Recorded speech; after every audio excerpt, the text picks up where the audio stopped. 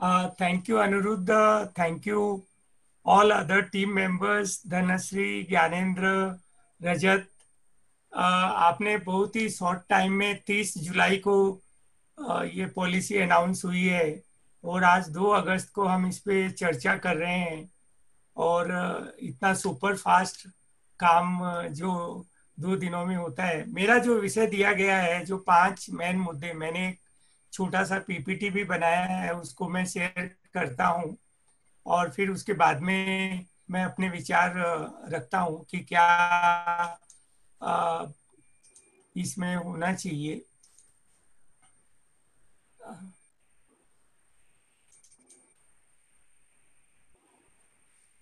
तो I just go to the slide so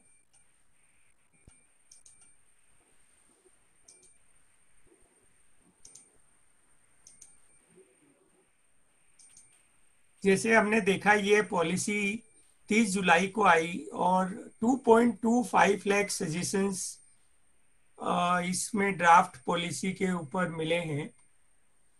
और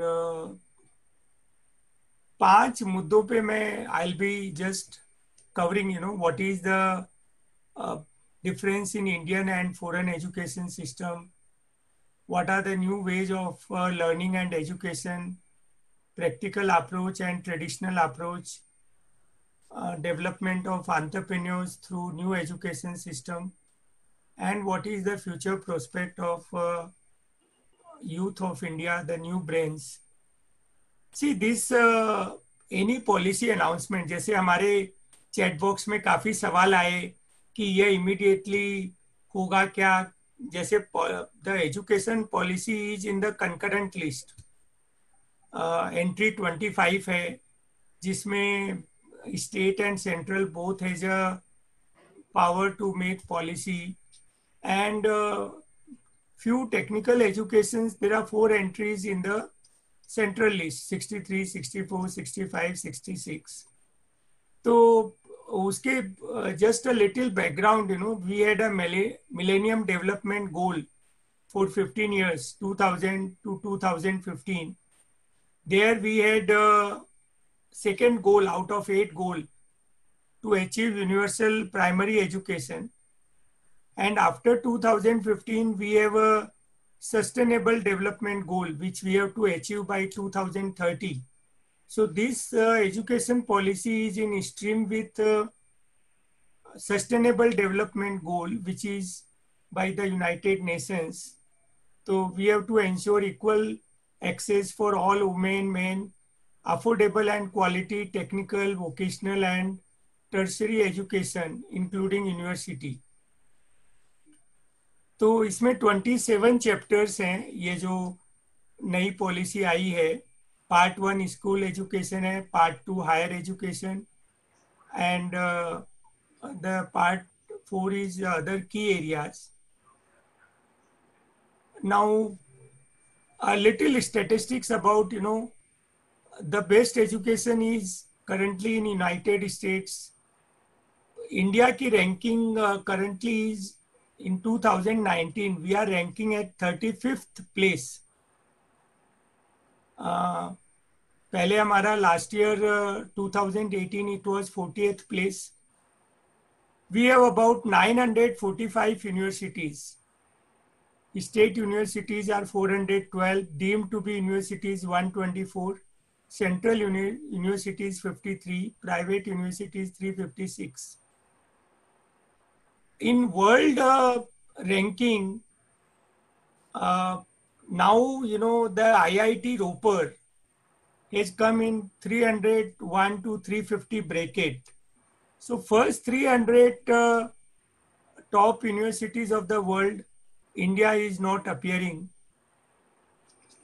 Now coming to, uh, you know, what uh, we are uh, discussing, in foreign uh, education, what happens like Harvard, there are six boards which are there parallelly, you know, when the teacher is uh, training.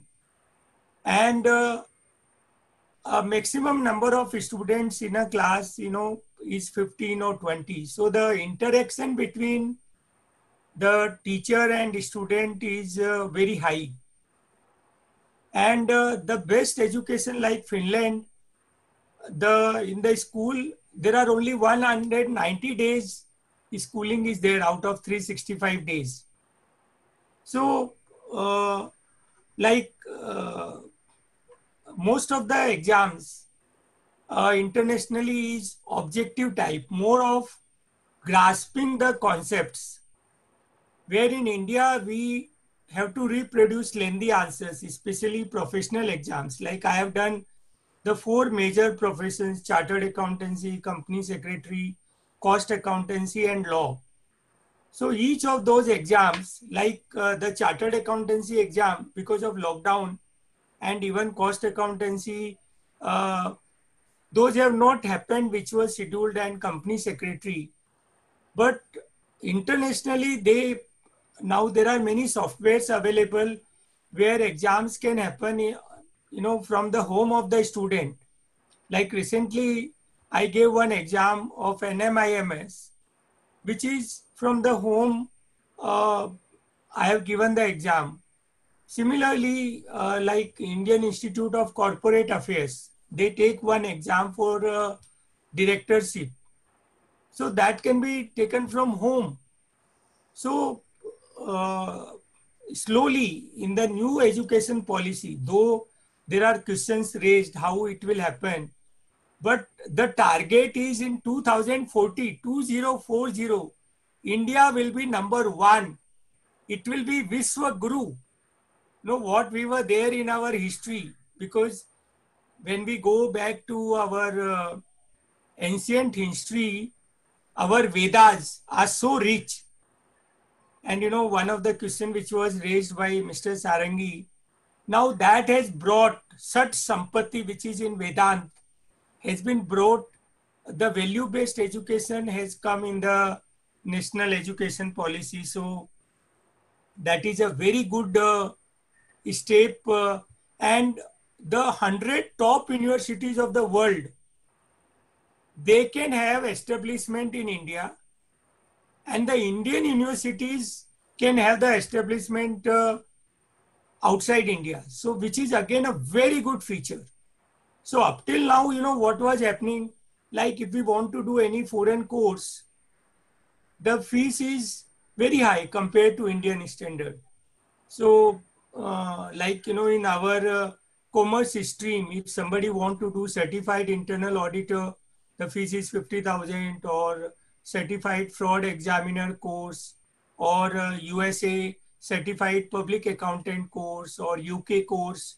So that disparity will reduce. So this is one uh, good feature of a, new policy. And this is a third policy. You know, we had a first policy in 1968 then second policy was 1986. And there was a small amendment in 1992 in the 86 policy. And the first policy was only of eight pages in 68. So there is a remarkable shift. Now the second is the new ways of learning. Now uh, look at a lockdown period, four months. We started from 24th March and uh, Everything is happening digitally. Today, there are participants from across the country and maybe some participants outside India. Now, there is no need to travel. So, the distance learning, which was uh, lacking in our education system, like I'm talking about most of uh, uh, the organizers belongs to say CA, company secretary, uh, cost accountancy, bar council, you know, there we can do a sea change in the learning. And uh, what was talked by earlier panelist, like uh, the virtual laboratory, we should have a virtual training in each area. Suppose there is a bank audit to be done or an insurance entity audit to be done. So there can be a virtual training uh, that can happen from a distance learning and digital means available. Then another uh, major area which I want to talk is the practical approach. Now suppose uh, uh, somebody has to uh, write a will, uh, suppose uh, one is doing a legal course or do a stock audit or you know yesterday I took one session on arbitration. So the practical approach will be how the appointment letter will be there, how the notice will be issued to the parties, how the statement of claim is made, statement of defense is made, how the arbitral award. I'm just giving one example in one area. So this will happen. New education policy will make that happen. Another major area you know, uh, the issue of unemployment, uh, the vocational training. Now, take an example of chartered accountancy course. We have a standard course. But so say somebody want to go in a textile company as an officer, somebody want to go in a cement company or uh, a particular industry. There, there is a there should be an option available. The policy speaks about this, that there will be a multidisciplinary approach and why that person should go through the courses which are required for a practicing professional. Because the whole objective of that student is to take up a particular uh, employment. And uh, so the entrepreneurship uh, the skill based education has been given a lot of emphasis in the uh, the new policy and uh, the for the young brains the all now we are in the fifth generation of uh, computers where we have robotics internet of things artificial intelligence blockchain now all this has been ingrained uh, in the policy that educational institutions uh, should have uh, those kind of things. I'll just see the chat box.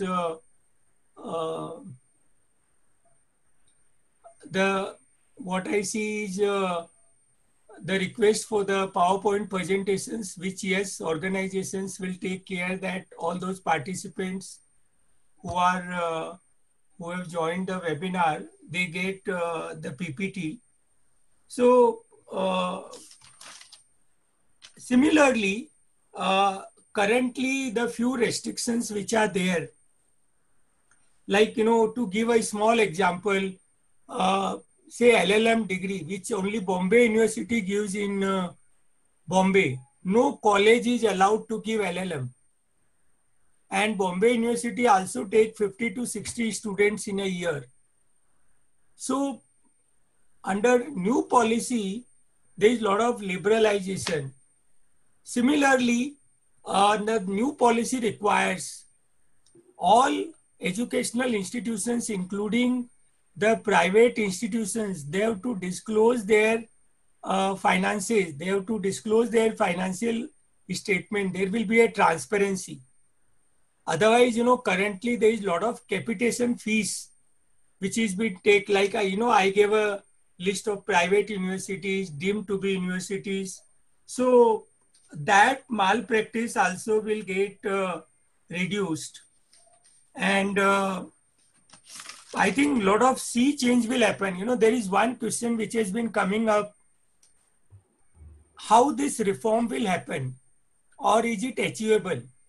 See, for any reform, uh, all stakeholders Hindi में कहावत है कि बच्चा अगर नहीं रोता है माँ बच्चे को रोए बिना दूध भी नहीं देती है So the service education is a service. Now under the new earlier act also Consumer Protection Act, under the new Consumer Protection Act 2019 also, which is effective from 20th July.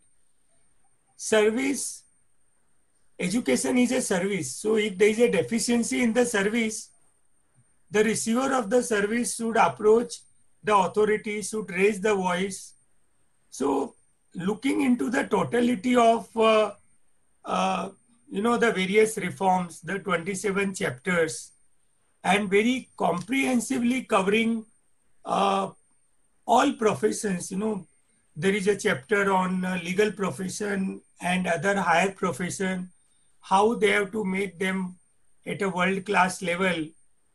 So I'm very optimistic that this will uh, make a sea change uh, in our learning. Then, you know, with this new policy, uh, one do not have to pay a large amount and that fancy for foreign degree will get reduced because our own universities, our own uh, qualifications will have uh, the world class recognition.